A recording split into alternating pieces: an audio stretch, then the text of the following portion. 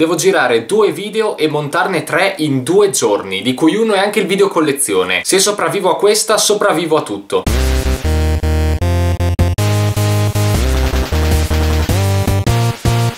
Salve a tutti e benvenuti a questo nuovo video acquisti di luglio 2018. Questo mese sono stato davvero impegnatissimo con gli esami e lo studio, quindi nonostante abbia comprato davvero tanti fumetti, non sono riuscito a leggerne una buona parte. Oltretutto in questo video vedrete anche gli acquisti del Rimini Comics alla fine del video. Senza dilungarci oltre, cominciamo. Food Wars volume 21, c'è l'organizzazione gastronomica centrale che prova a mettere i bastoni tra le ruote ai nostri protagonisti che provano a essere ammessi all'anno successivo, ovviamente con scarsi risultati. Un bellissimo battle show shonen a tema culinario che continua a essere sempre bello interessante. Dagashi Kashi volume 9, un manga comico fantastico organizzato in capitoli singoli e poco collegati gli uni con gli altri, ma che mi fa morire dal ridere. Anche dopo questo numero è consigliatissimo a chi piace il genere. The Rising of the Shield Hero volume 10, inizialmente mi aveva preso molto di più, adesso lo considero diciamo un manga nella norma, ma in ogni caso è carino. Una visione da un punto di vista più adulto e cinico del classico mondo fantasy da gioco di ruolo, ad esempio di Sword Art Online. The Promised Neverland volume 4 4. Cosa non è questo volume, Cristo? Cosa non è questo volume? Un sacco di colpi di scena, un sacco di rivelazioni e finisce in un modo che ti fa davvero chiedere cosa succederà nel volume successivo, come alla fine tutti i numeri di questa serie. Senza dubbio uno dei migliori shonen che potete trovare in fumetteria in questo momento e forse anche il migliore. Fire Force volume 8, questo ancora non l'ho letto perché l'ho comprato oggi, andiamo avanti. Platinum Man volume 5, un manga che vorrebbe essere semi-serio, semi-drammatico, semi-realistico, ma io a una certa pagina sono scoppiato a ridere ridere quando si scopre qual è il costume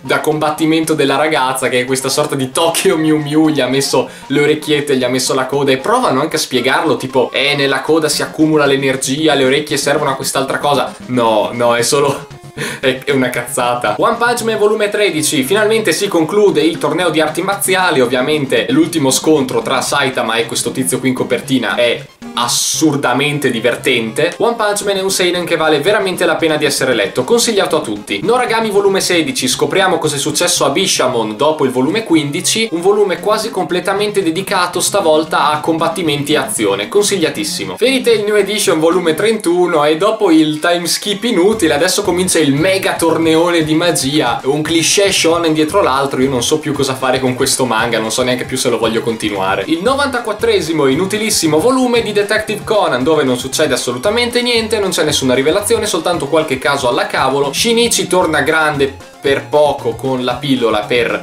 vedersi con Ran in una gita scolastica, vedremo se ci sarà un risvolto nella loro storia sentimentale, ma alla velocità con cui va questo manga temo proprio di no. One Piece volume 86 è uno di quelli che non sono riuscito a leggere, andiamo avanti. Dragon Ball Full Color volume 7, manca ancora un numero alla conclusione della saga del giovane Goku e poi comincerà quella del grande Emone piccolo, non vedo l'ora. Fire Punch volume 6 e Gintama volume 41, perché ve li faccio vedere insieme? Perché non ho letto nessuno dei due, ma questo è un seinen capolavoro e questo è uno shonen comico parodico capolavoro, nonché il mio manga preferito in assoluto. Non posso che consigliarvi entrambi sulla fiducia. Cells at Work volume 3, anche questo non l'ho letto, prossimo. Akame ga Kill 0 volume 5, una serie che sta andando troppo avanti per la storia che vuole raccontare, sta diventando noiosa, non mi piace, non mi interessa, non mi diverte, sto pensando di dropparla. Gantz volume 32, come ho detto la trama è colata ormai a picco, lo prendo soltanto per abitudine e perché ormai mancano 4-5 volumi alla conclusione, è un vero peccato che una serie che era partita così bene si sia ridotta in questo modo. L'attacco dei giganti Before the Fall volume 13 non sono riuscito a leggerlo. Prossimo fumetto. Battle Royale volume 2. Io sto seriamente adorando questo manga. Lo consiglio a tutti quelli che sono appassionati del genere survival e psicologico anche, perché c'è un'introspezione non indifferente su praticamente tutti i personaggi. Mi piace molto. Hideout. Questo è un manga horror della Planet, un volume unico che ho comprato su consiglio di Fumetti Senza Paura. Trovate il canale in descrizione. La trama è interessante, riesce a costruire un'atmosfera di tensione incredibile e i disegni sono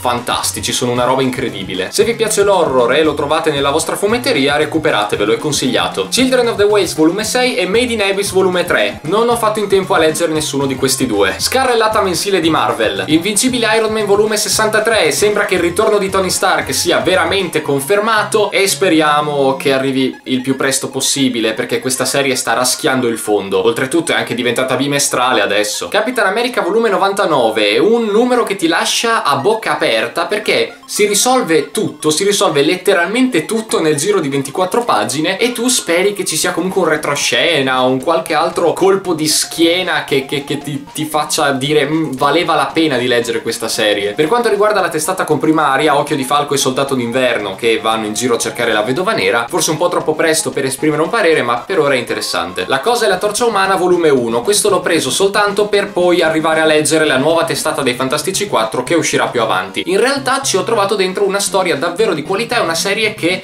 ha praticamente superato tutte le altre che sto leggendo in questo periodo della Marvel. Consigliatissima sia a chi ama sia a chi è indifferente ai personaggi un po' come me. The Amazing Spider-Man volumi 702 e 703. Come al solito la serie di Spectacular non mi fa impazzire mentre quella di Amazing continua a interessarmi. Bella anche la testata dedicata al Ragno Rosso, non mi dispiace. Deadpool volumi 112 e 113. Questa storia di Wade che deve rintracciare Cable, uccidere Cable, viaggiare nel tempo, mi sta davvero appassionando. Anche questo mese è consigliatissima. Ma la serie Marvel migliore di tutte per questo mese è senza dubbio Venom, che adesso che Venomverse è entrato nel vivo dell'azione è la roba più bella che abbia mai letto sul personaggio. Non vedo davvero l'ora di scoprire cosa avrà in serbo per noi nell'immediato futuro questa testata. Passiamo ai fumetti italiani, abbiamo Angie Digitwin volume 2, non l'ho neanche letto, non ho fatto in tempo. I primi due volumi di Nathan Never Generazioni che altro non sono che i personaggi di Nathan Never in universi che ricordano quelli di altri fumetti, ad esempio qui Sin City e qui Kenshiro. È meno una cagata di quanto sembra e questi due fumetti mi hanno intrattenuto abbastanza. Dylan Dog numero 382, La rosa e il macellaio, che è distrutto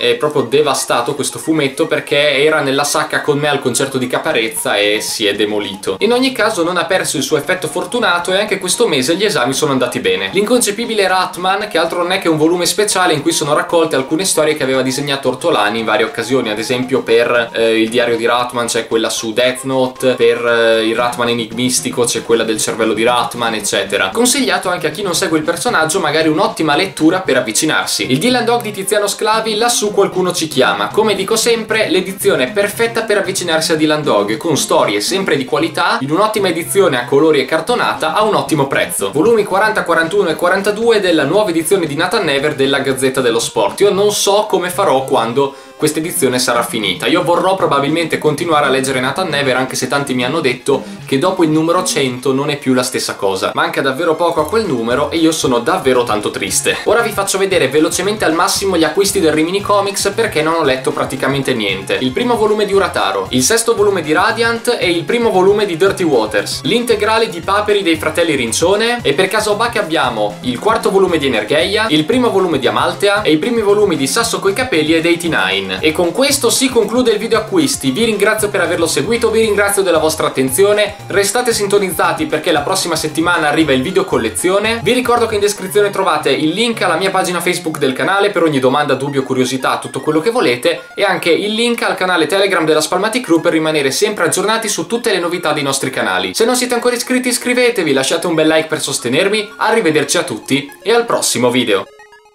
Sempre bello il macello che c'è per terra dopo un mio video acquisti.